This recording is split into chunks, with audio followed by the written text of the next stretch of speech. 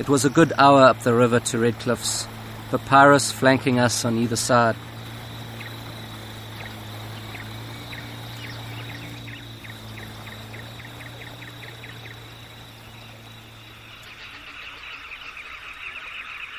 From a distance, Red Cliffs was this huge orange wall. And as we got closer, we could see the sandy face, filled with burrows and lots of birds flying to and fro.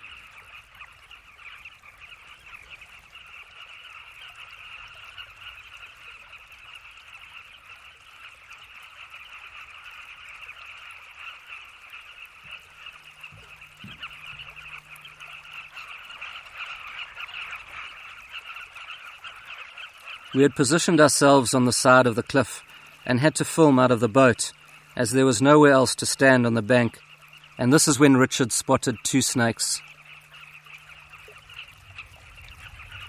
One was peering out of one of the carmine's nests. This snake was a boomslang, and we could only think that the carmines had eggs and chicks in their burrows.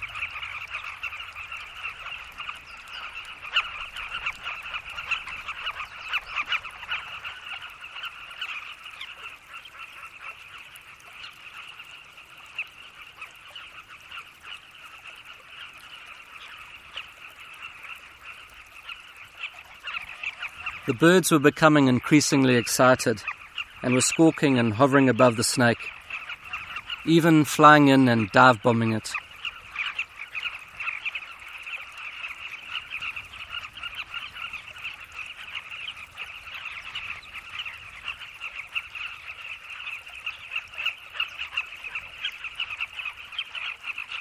The birds weren't letting up and tried to worry the snake as much as they could.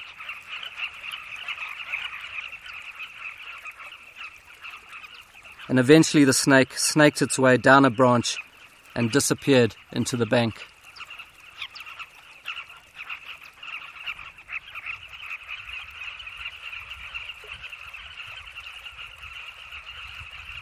There was a sand boulder that had eroded and fallen into the water at the bottom of the cliff face, and I perched myself and camera on top of it.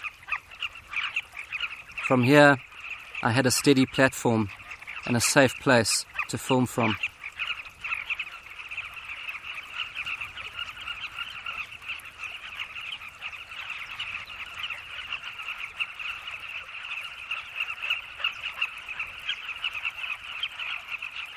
The sound was incredible.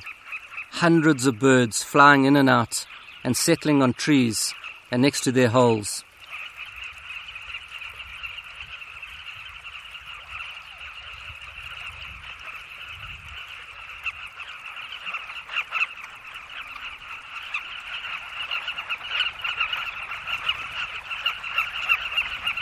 The insect life had also increased, and the birds hunted the air over the water.